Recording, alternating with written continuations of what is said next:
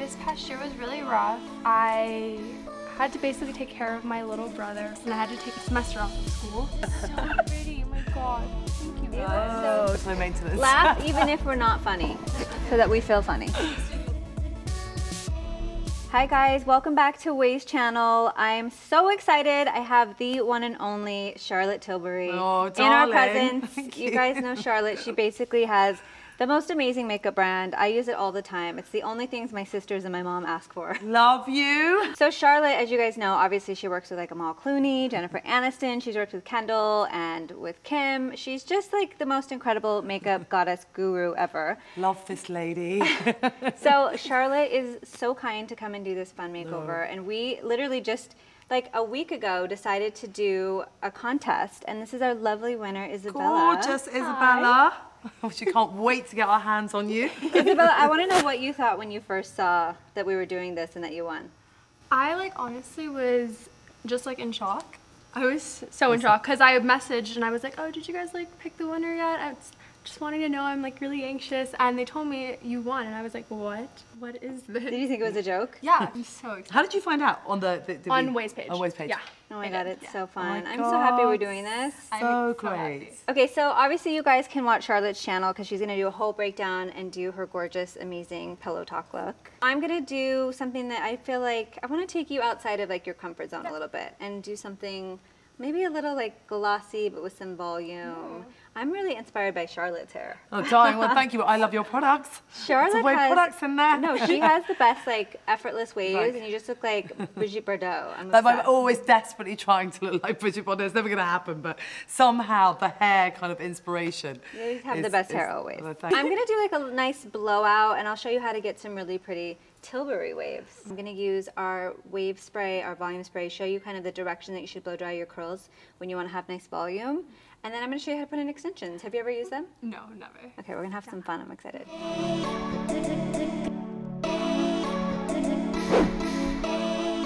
So that will give it, so you spray that in and that gives it what the kind of, So I basically am just prepping the roots and I'm using the volume spray so that when I blow out her hair, it's will gonna give it a really have that nice Yeah. volume.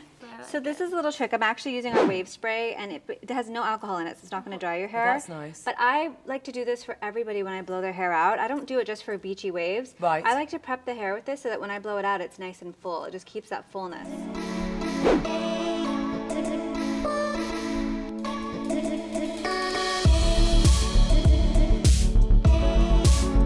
So this is the Dyson Airwrap, and basically it blow dries your hair and styles at the same time. And then let me show you this. So this is the curling one. okay, that, that, that's the one that my friend had. She was, she was literally like, I come out of the shower and I just pop that on and I go, So it it has just- an arrow, so it shows you the direction that the air is moving, and you don't have to ever worry about it like sucking your hair up because it's blowing air out. It's Right. not sucking it in. it in. So like, I'll show you. You'll die for this. Charlotte.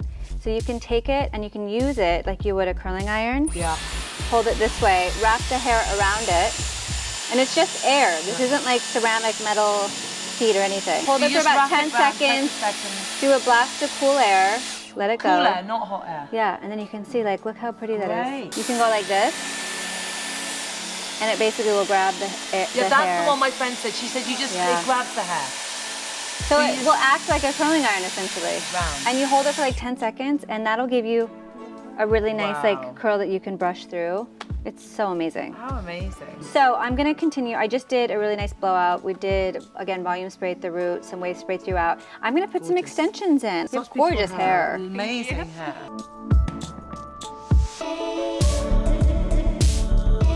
Right, so Isabella, tell me about your story because I know we had a contest. We asked everyone to kind of share what their like what their what they were going through, why they felt like they really wanted to have, you know, kind of a makeover. Tell me a little bit about your story. So, um, this past year was really rough. I had to basically take care of my little brother for almost a good majority of the year. Right. Um, my mom had to go to Hawaii because my uncle, who's a quad, was in the hospital. Um, and then Who was a, event- who was a, quadriplegic. Yeah. So he was in the hospital, um, and then eventually he passed. It was like five months plus. Then she had to stay there a little bit longer because she had to like wrap up like loose ends and stuff like that. So I had taken care of my brother basically for a good majority of the year, and he was going through like finishing eighth grade, going into high school. So that was a crazy kind of transition period for him too.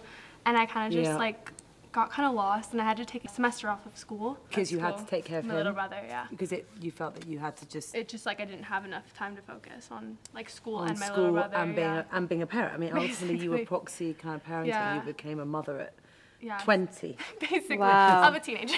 Teenage- Pretty fast. So it was really tough, and I kind of just kind of felt lost, and just like because I took a semester off school, now I kind of have to figure out like my path again, and I just feel a bit confused and trying to figure out what exactly I want to do, and just being confident within myself for sure has just been kind of rough, but. Has it been, has it been rough? What finding your confidence? Yeah, it just I feel like also just like in being in college the past few years it's just been I've just kind of given up a little bit on just like appearance wise and stuff.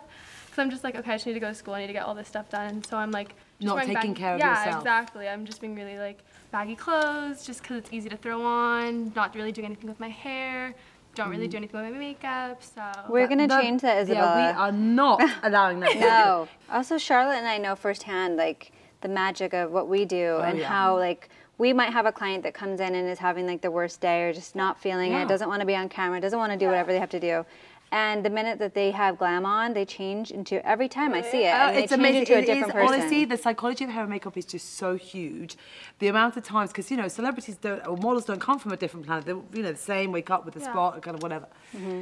And you, you that that moment where they kind of look in the mirror and they're like, oh, there she is, and their mm-hmm. whole energetically, their whole frequency and their whole kind of uh, their whole posture.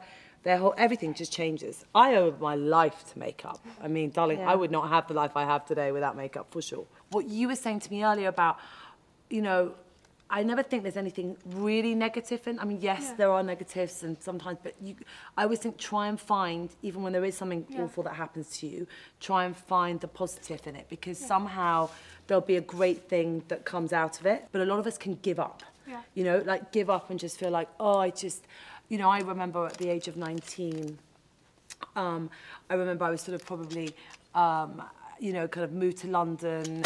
It was a recession, um, and there wasn't. It was really hard to get a job uh, as a makeup. I'd done my makeup course.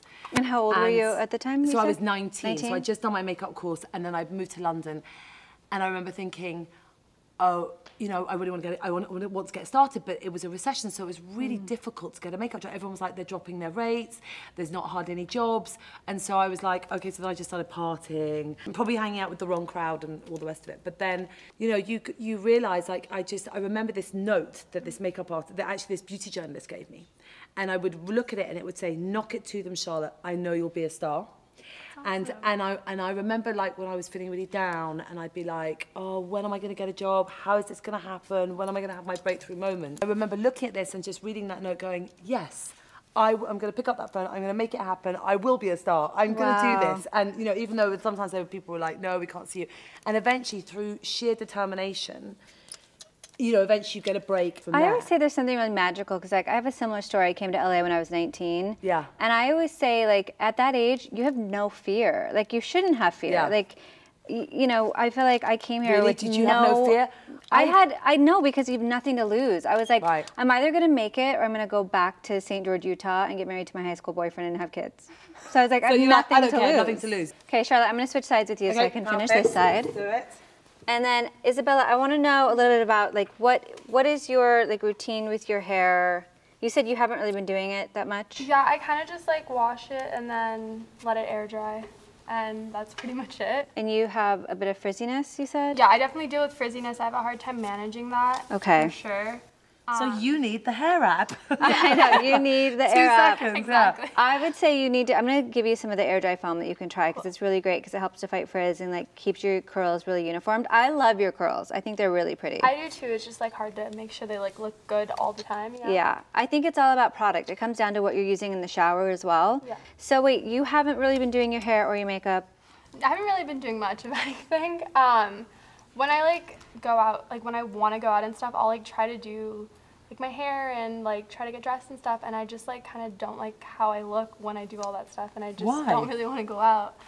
I just, I just look kind of like You're so gorgeous. basic. I don't know. That's such a weird It's way so to crazy. say. You're so Yeah, beautiful. that kills me that you even say that because you are so beautiful. Well, you don't like the way you look. Why? It's just more like my, cause my friends are really good at dressing and stuff, and they'll like, you know, do their hair and like it's kind of like really natural makeup and stuff, and I just like don't want to deal with doing like makeup and stuff like that. Why?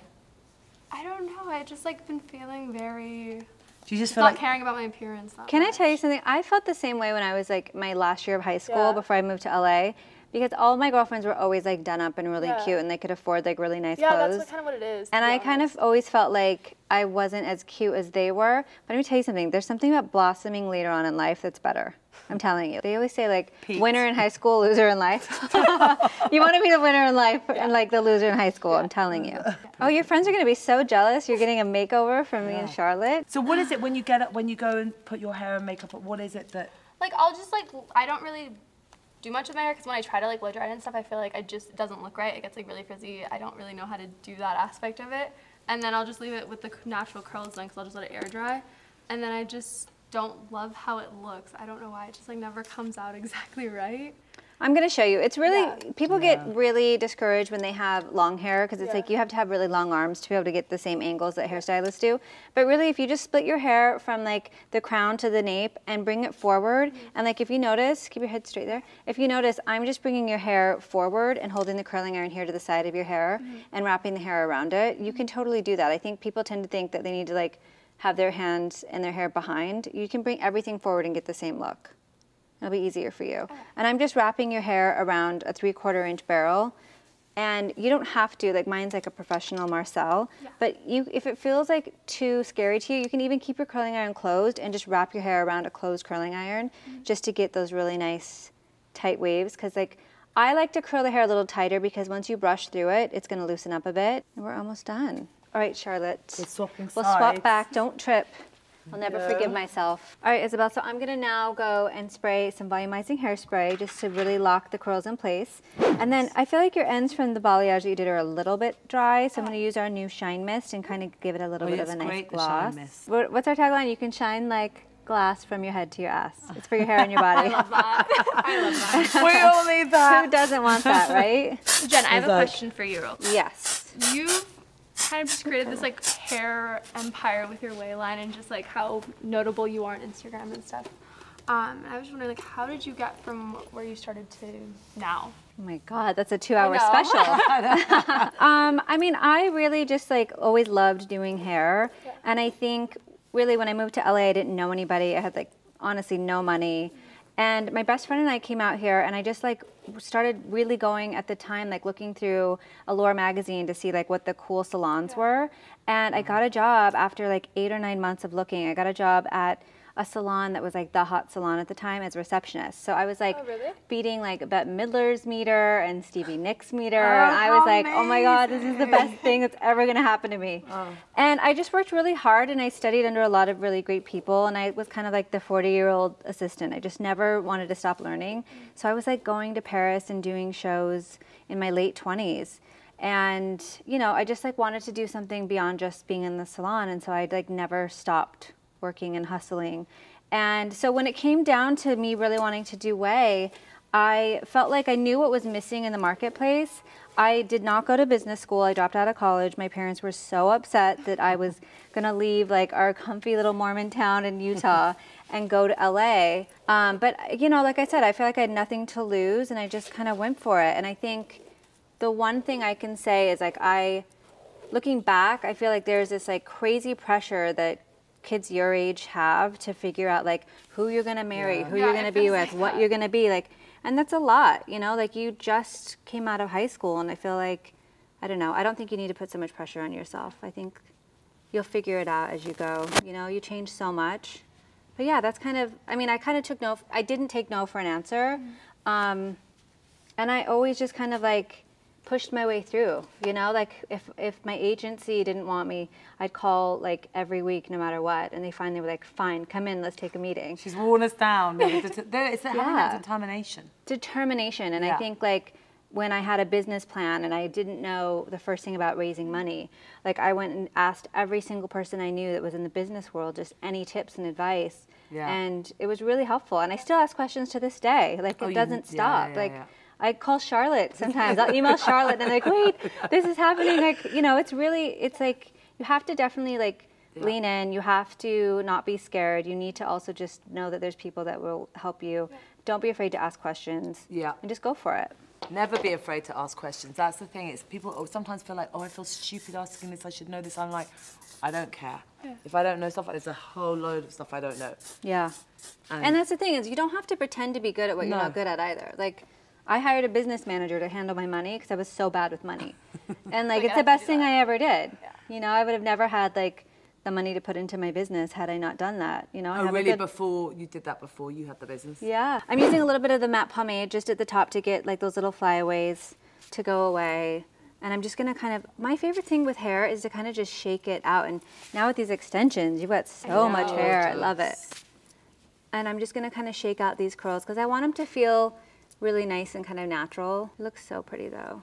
I love it. It's So divine. nice. Gorgeous. I'm gonna get some bang clips and I'll put these away for you, Charlotte, so you can work your magic. I feel like I honestly do feel like a little more confident right now. Just like my hair's already done, and it just makes me like look a little bit more put together. Oh yay, that's the the hair magic is point. working. Well, we're only halfway done. You just got OUAI'd and now you're going to get Tilburyed. Thanks you guys so much for watching. Make sure that you like and subscribe and head over to Charlotte's channel. Darlings, come over to my channel. I'm now, this is so gorgeous and divine what you have done. I am so, can't wait to get my hands on Isabella's face. So come, come, come to my channel and I'm going to show you how to get a little bit of quick and easy makeup magic. Confidence boosting makeup magic. That's what we're going to do, darling. Ooh la la.